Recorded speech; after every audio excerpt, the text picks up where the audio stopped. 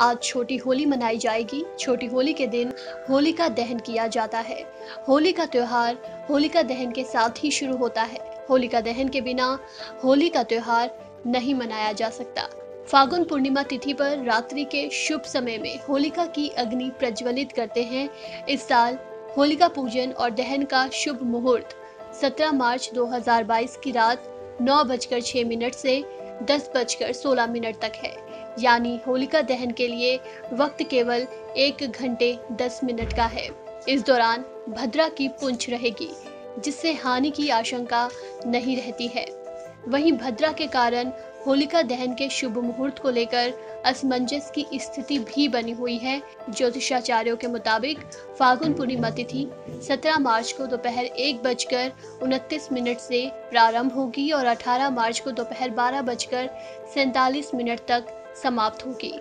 भद्रा प्रारंभ होगा 17 मार्च को दोपहर एक बजकर दो मिनट से और 17 मार्च को देर रात बारह बजकर सत्तावन मिनट पर इसका समापन होगा।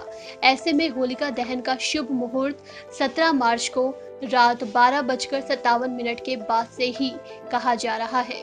होलिका दहन के दिन गज केसरी योग बन रहा है। इस दिन चंद्रमा और बृहस्पति के योग से गज केसरी योग का निर्माण हो रहा है। ये शुभ फलदायी होता है। होलिका दहन बुराई पर अच्छाई की जीत के पर्व के रूप में मनाया जाता है। होलिका दहन से आसपास की नकारात्मक शक्तियों का नाश होता है।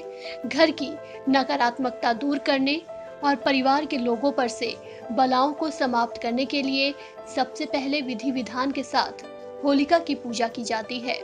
होलिका दहन की पूजा के लिए एक नारियल लें इसे अपने और परिवार के लोगों पर सात बार वार लें।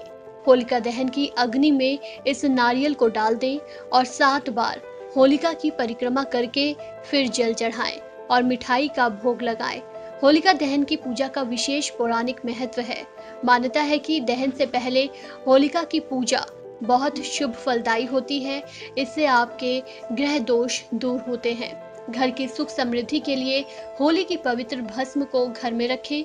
होलिका दहन की भस्म को रोगियों के शरीर पर लगाने से रोग दूर होते हैं। मान्यता है कि होलिका दहन के दिन ही स्वयं को भगवान मान बैठे। हिरण्य कश्यप ने भगवान की भक्ति में लीन अपने ही पुत्र प्रहलाद को अपनी बहन होलिका के ज़रिए ज़िंदा जला देना चाहा था। लेकिन भगवान ने भक्त पर अपनी कृपा की और प्रहलाद के लिए बनाई चिता में स्वयं होलिका जलकर मर गई। इसलिए इस दिन होलिका दहन की परंपरा है। मालूम हो कि ज्योतिषीय दृष्टि से होलिका दहन की रात्रि को सबसे सिद्ध रात्रि माना जाता है। इस रात्रि में ग्रह नक्षत्रों की स्थिति कुछ ऐसी रहती है कि इस रात्रि में किए गए उपाय अनेक संकटों का नाश कर देते हैं, लेकिन ये सारे उपाय ज्योतिष आचार्यों के मार्गदर्शन में करने चाहिए।